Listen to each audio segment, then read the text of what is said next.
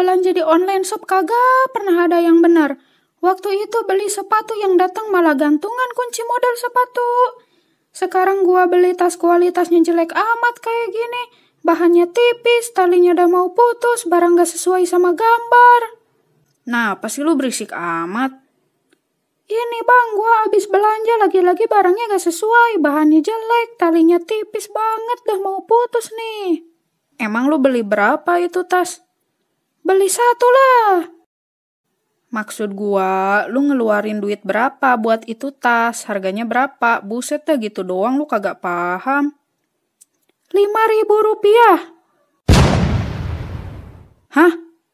Ada emang tas harganya lima ribu? Itu masalah lu di mana-mana kalau belanja tuh ada harga, ada kualitas. Lo beli barang murah tapi pengen kualitas langit. Kalau gak punya duit minimal punya otak lah. Oh, oh